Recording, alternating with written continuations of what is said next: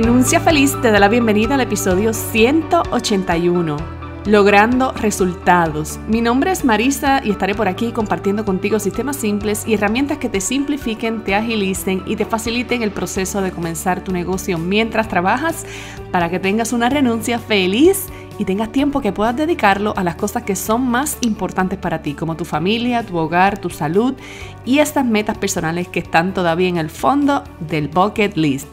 Hoy es martes 24 de septiembre del 2019. Gracias, gracias primero a ti por estar al otro lado, por sacar este ratito de la mañana para compartir contigo o si me estás escuchando por la tarde o por la noche, gracias por tu lealtad, por estar ahí y por reclamarme. Cuando no ves el episodio rápido me pides cuentas que dónde está el episodio de hoy, que lo buscaste.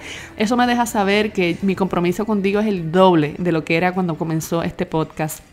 Gracias también a todas esas personas que ayer le mandaron feliz cumpleaños a Elena. Elena se pasó un día de verdad que muy feliz. Ella estaba gozosa, feliz, radiante. Le cantamos cumpleaños como tres veces porque ahora ella está con la fiebre del cumpleaños y hay que cantarle cumpleaños en, en cada momento para comer, para bañarse, para acostarse a dormir.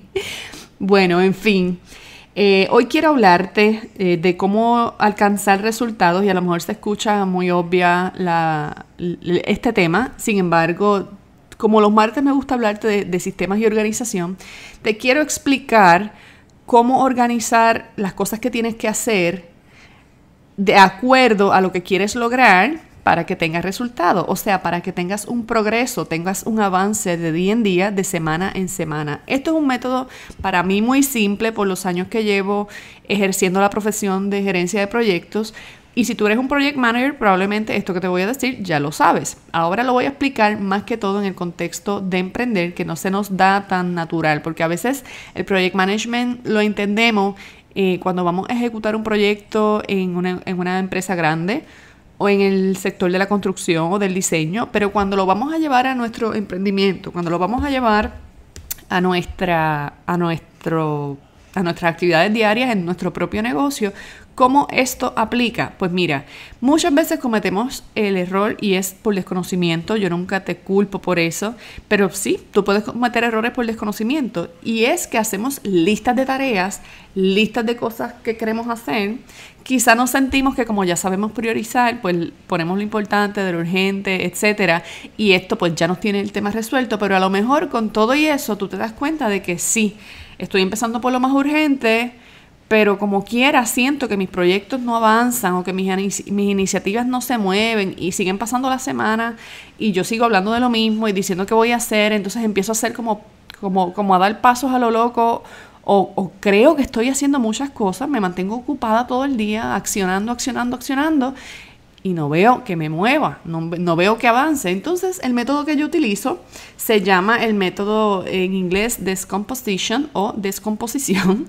Es una técnica que se utiliza y es que tú primero estableces metas, objetivos específicos y esos objetivos es como si los rompieras en pedacitos, en partecitas más pequeñas y esos son los pasos que necesitas llevar a cabo para alcanzar tus metas. Por ejemplo, a lo mejor yo tengo como meta, eh, vamos a decir en el día de hoy, yo quiero recoger el cuarto de mi hija. Por ejemplo, lo quiero organizar porque está patas arriba entre las cosas del cumpleaños de ayer, los juguetes, ropa que se lavó, ropa que se secó. Eh, ella tiene la cama revuelta, hay que limpiar el piso, bueno, en general. Es un caos el cuarto en estos momentos, pues yo si me meto al cuarto a intentar recoger poco a poco, estoy segura que me voy a tardar. Yo quiero tenerlo listo en media hora. Yo quiero en media hora tener ese cuarto nítido. Mi objetivo es ese, tener el cuarto completamente recogido y limpio en 30 minutos. Pues antes de yo empezar, me debo organizar por metas, debería, eh, perdón, por antes de yo comenzar, me debo organizar por tareas. Si ese es el objetivo, pues entonces, ¿qué tareas yo, llevo, yo debo llevar a cabo específicas? ¿Qué es lo primero que voy a hacer? Primero, sacar toda la ropa del medio y meterla en un canasto. Segundo, quitarle las sábanas al cuarto, a la sábana, a la cama, eh, sacar eh, todos los juguetes y meterlos en el cajón, después traer la escoba, pasar una escoba por el cuarto y luego pasar un mapo y mientras el piso se seca, La otra tarea es doblar y guardar la ropa, por ejemplo. Y ya con eso, en media hora, recogí el cuarto. Eso es simplemente un ejemplo cotidiano. ¿Cómo esto aplica en el mundo del emprendimiento? Pues a veces nos ponemos, hoy tengo que llamar a fulana, tengo que trabajar en el proyecto tal, tengo que hacer tal o cual cosa, tengo que hacer tal o cual diligencia. Espérate un momento. ¿Cuáles son tus metas? Sabes que siempre te invito a sacar metas para tu semana. Pues si tu semana es, por ejemplo, tienes una meta de ventas de 10 mil dólares esta semana o de tres clientes nuevos o de sacar tu producto esta semana, pues entonces coge esa sola meta y rómpela en tres pedazos. ¿Qué tres pasos tú tienes que dar para que esa meta se cumpla? Quizá es enviar un email. Quizá es em, enviar un email y después eh, hacer un live en tu página. Quizá es enviar un email, hacer un live en tu página y luego poner un anuncio de, dejándole saber al público que el producto está en venta.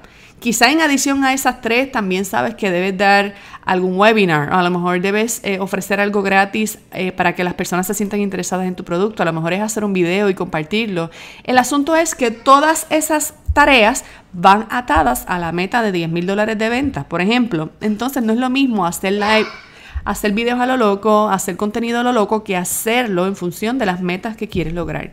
Básicamente ese es el sistema de descomposición. Si tú tienes tres metas, las descompones cada una en, las, en los pasos que hay que llevar para cada una de esas metas, te vas a dar cuenta que cuando cada, una, cada uno de esos pasos se haya dado, esas metas van a estar completadas y tú puedes decir, wow, qué semana más productiva o qué día más productivo. ¿Me sigues? Si tú quieres aprender más sobre esta distinción entre metas, objetivos y tareas, hay una clase completa sobre este tema en el curso Organización Personal para Emprendedores. El curso ya va a cerrar matrícula esta semana. Eh, los boletos están a la venta hasta el viernes, pero quedan solamente cinco espacios. Si se venden antes del viernes, pues cerramos. Si se venden hoy, pues se, acabó la matrícula hoy. Te invito a tomar acción, a separar tu espacio, no te quedes para última hora. El curso está disponible, eh, tiene siete semanas de duración, incluye dos sesiones grupales de mentoría y una sesión de mentoría individual, mentoría privada. Al final del curso, luego que termines el curso, pues puedes reclamar tu sesión privada. Está incluida. Si yo te digo lo que cuesta el curso, las dos sesiones de mentoría grupal y la sesión de mentoría individual, estaríamos hablando de un paquete de servicios valorado en más de mil dólares y te cuesta menos de la mitad. Así que tienes una súper oportunidad de separar tu espacio hoy. Eso sí, si lo si lo dejas pasar de la fecha, el curso comienza en la semana, la segunda semana de octubre, el 12 de octubre específicamente. Si tú dejas pasar la fecha de matrícula, ya no te puedes añadir al curso porque tenemos un cupo limitado. Me gusta entregar calidad en estos grupos y no hago, no hago grupos ilimitados precisamente por las sesiones que ya están coordinadas según mi calendario para la mentoría grupal y las sesiones y los espacios que tengo pre-reservados para la mentoría individual. Ya puedes entender. Bueno, con esto me voy despidiendo. Si tú encuentras valor en el contenido que yo comparto por aquí, comparte este episodio en tus redes sociales, dale un screenshot, me tagueas por favor como Renuncia Feliz en Instagram y en Facebook.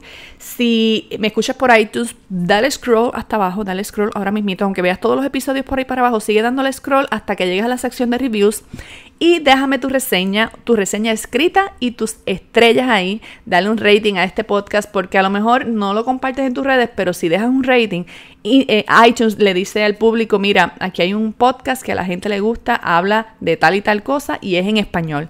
Ayuda compartiendo lo que a ti te funciona, porque yo estoy regalando este contenido, sacando de mi tiempo para hacerlo, te lo estoy regalando y quiero que si tú le ves valor, lo compartas para adelante, lo compartas con alguien que también, al igual que tú, le pueda sacar valor. Esta semana que pasó, compartí en mi historia de Instagram, en mis stories, el testimonio de Emma. Emma, si me estás escuchando, un beso. Estoy súper emocionada por tu historia. Emma y yo nunca nos hemos visto.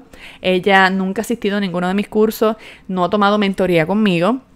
Sin embargo, aplicando todo lo que he aprendido en el podcast, está iniciando su negocio, ya está con un plan de acción brutal y sabes qué es lo mejor de todo, que el 1 de noviembre es su renuncia feliz y yo recibo testimonios como estos todo el tiempo. Quiere decir que hay algo en lo que yo estoy compartiendo que te puede beneficiar, aunque tú quizá no estás físicamente para ir a un taller o a lo mejor no estás interesado en los temas de los cursos, sí, compartiendo el episodio estás regalando valor. Escuchando y aplicando te puedes mover y conseguir resultados contundentes. Gracias Emma por tu historia. A ti que me escuchas, gracias por estar al otro lado. Si estás en Puerto Rico, cuida tu seguridad asegúrate, ¿verdad? Estamos en tiempo de tormenta, estamos esperando tormenta durante el día de hoy. Asegura tu familia, asegura el bienestar. Si estás en un área inundable, muévete a tiempo. Nuestro sistema no está igual que hace tres años. Nuestro sistema de inundaciones se pueden inundar áreas que antes no se habían inundado. Se pueden desplazar eh, terrenos que antes no se habían desplazado precisamente porque nuestra tierra está todavía muy débil tras el paso del huracán María. Así que espero que te cuiden muy bien. Yo estoy segura en mi casa. Hoy no hay escuela para los nenes. Eh, papá y mamá estamos los dos en casa. Y yo estoy aquí grabando este podcast escondida en mi cuarta para que no se escuche revolú. Gracias por estar al otro lado. Nos vemos mañana a la misma hora y por el mismo canal. Hasta la próxima. Bye bye.